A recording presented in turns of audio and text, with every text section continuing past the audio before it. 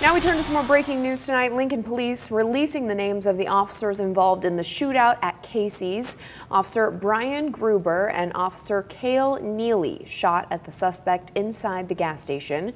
Gruber has been with LPD since June of 2019 and Neelly joined the force in July of 2022.